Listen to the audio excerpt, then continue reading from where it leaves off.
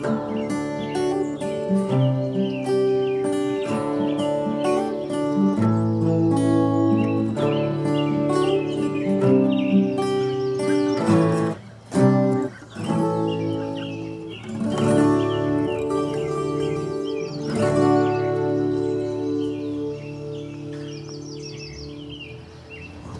should we be scared or not? I do have red hair. now, now Tyson's got bulls. Look at these things, man. Steers, bulls, whatever you want to call them. You better just stay right there. Leave my bees alone. At least it's got the points. You better, Sawed off. you better stay right there. That's all I'm saying. I'll get my Glock after your ass. Oh gosh. What do you think? Look what we Pretty cool have. so far. Look what we have. Yes. Yes. Are we the first ones in Tennessee with a flow hive? I don't know. We're in Georgia right now, so maybe we're the first ones in Georgia. Uh, well, if you don't know what this is, you're going to be surprised. It is basically a new technology. I follow these guys from the beginning on their Indiegogo project. It's really uh, out there as far as bee technology. the beekeeping industry really hasn't changed much. We're talking hundreds and hundreds, we're talking centuries. So this is new technology. It seems to be proven. It was developed in Australia. Yep, Honeyflow.com. there you go, Bear. Don't even have to put a link now, do I? I'll put a link anyway, just so you don't have to type. You know, you, you don't want to get your fingers tired typing. So, Barret, let's grab the knife and we'll open her up. Barret, this looks like the path of least resistance right here. The Kershaw is a little sharp. It still cuts tape. Ooh. I don't remember ordering three of them. Hmm. I guess that was the. They had like a package, you know, a perk package. I figured I'd open them.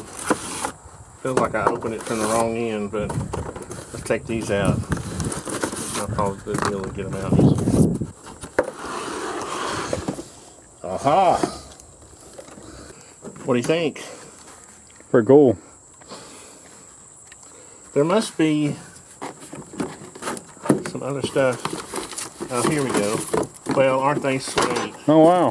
They're sweet. They sent us a veil. It's got flow hive on it, Child, child size veil. I think. Yeah. It's a lot smaller than ours, isn't it? Oh, that's cool. All right, cameraman. Look. Oh yeah, that is cool.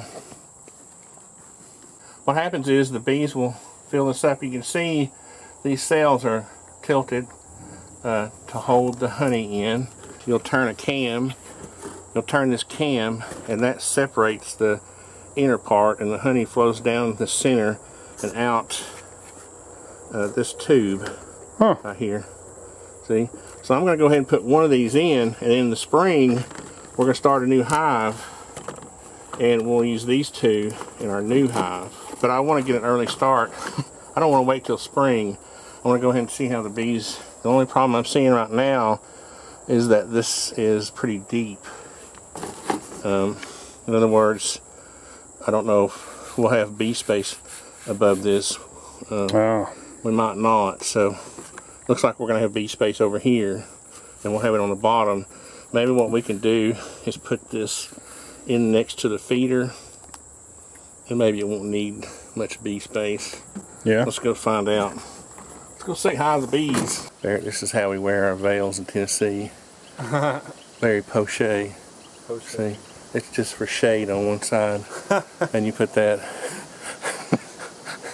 I like it. I think what I want to do is take the netting off of it, and, I, and I'll have a boonie, a flow hive boonie hat. That'd be cool. We forgot our wood chips and our pine straw, so we're just going to take some tissue and light it. I'll get this turned the other way. And once that gets going good, we're going to cram it full of this field straw we found. And put all that in there, huh?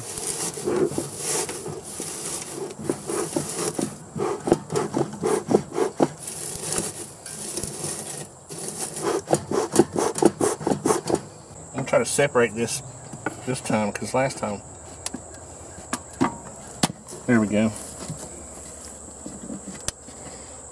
Wow. We got some real bead work going on here.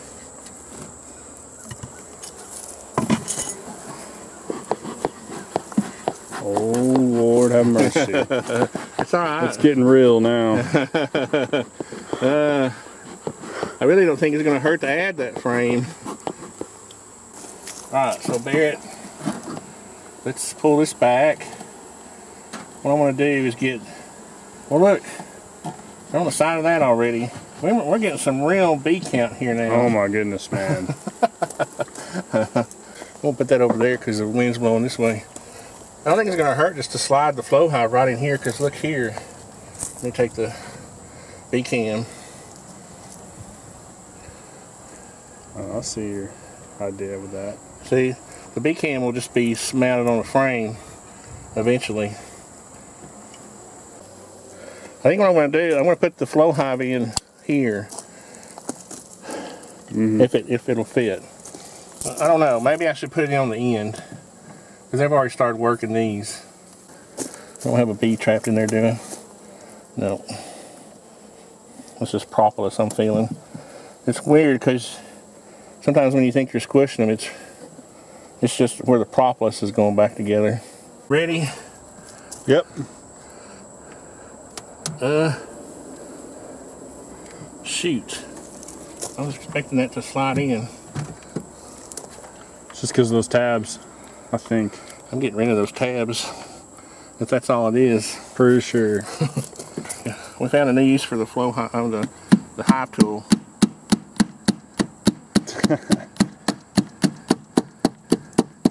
Alter the design a little bit. Uh, the bees are like, hey, what the heck's going on over there? Earthquake. Here, let's do it with a knife. Maybe it, it won't make them so mad. Dang, I got a bee over here.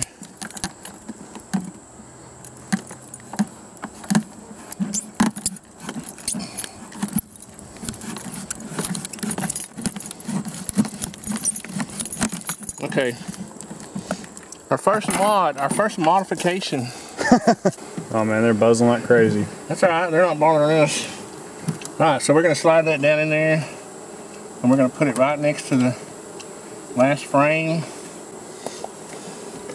Then we're going to ask them to go by that to get to the feeder. They'd have to go on the sides. Well, there's a little bit of too high, there's a little bit of bee space there. I don't know if you can tell. Get a get a close-up view of the space in there. See, I think they're going to be able to make it. Barret, I was, we were driving down the road, hmm. and what did I do? I said, "Oh my God!" I vaguely remember seeing this in a video where you have to basically set the when you first get the flow hive, it's open, and you got to turn this cam to shut it before you put it into the hive. So I'm gonna lay that right there, and then we're sorry bees. Oh look, there's some beetles right there. Kind of glad it came back. What kind of beetle that is? You think we should have read the directions? so Barret, I think all we gotta do is take this little piece out right here without killing myself, without poking myself.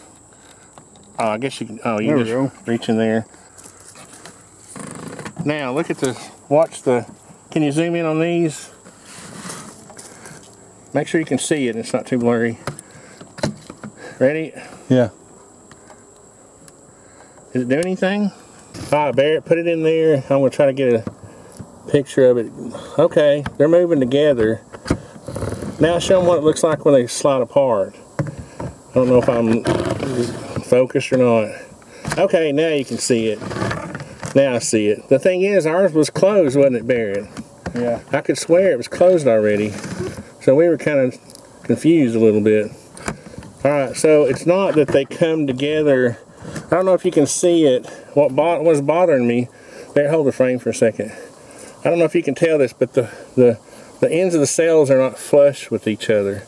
So I guess the bees will take care of that. Alright, let's put her back in there. So Barret, the only thing, only suggestion I would make to the flow hive people is to you need to leave a little more room. Those tabs. This is a regular Langstroth. These are regular Langstroth frames, okay?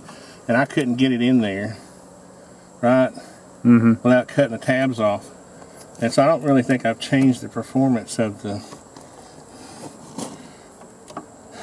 of the frame at all.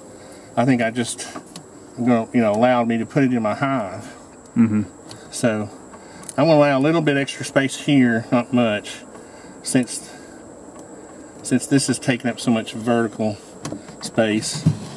Then we'll move this back over and we'll also give a little more space on the other side of the feeder. I'll get my bee brush and brush these guys off. Alright guys, you ready? Alright, we're gonna put this back. Watch out guys.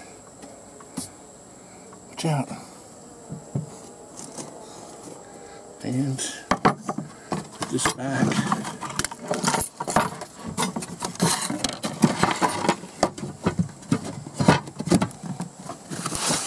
And my old memory well crud. We're gonna put that back in when we come back, okay? I'm not opening up the hive again. Yep. Barret, you like my boonie hat? I like it, Dad. It ain't on straight, is it? Is it on straight? It is. Uh, now it is. I adjusted it. So, we are highly technical beekeepers. We are in, ingenious. We're, what's the word? Innovative. Innovative. Ingenious. if you can't think of the word, you ain't that, right? uh,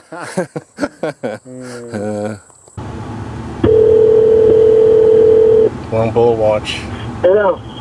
What is up? Oh my gosh, scrubbing my hands out on this slab. Are you hot? Are you hot?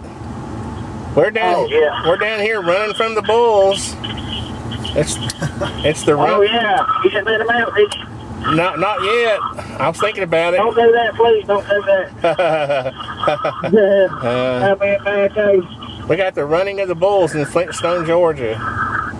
Yeah. Now one of them, the black one, took interest in us when we first drove up, and I was like, I, hon- I honked at Barret, and I said, "Get back in the truck. We'll call Tyson."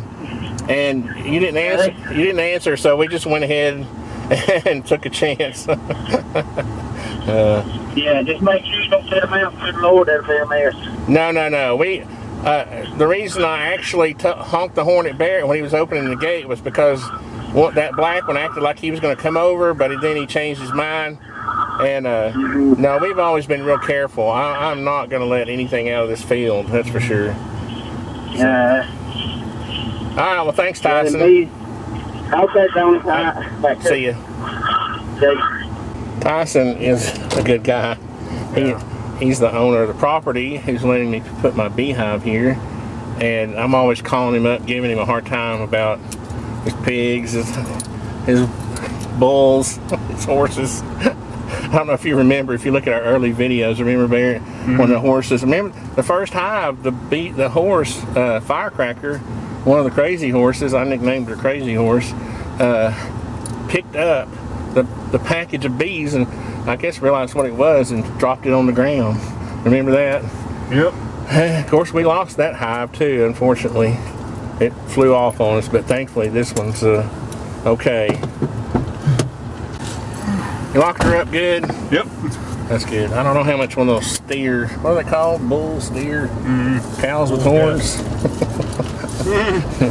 how can I be a southerner and not know what a, a steer is? A Brahma bull, a heifer. Heifer. My wife gets mad when I call her a heifer. Uh,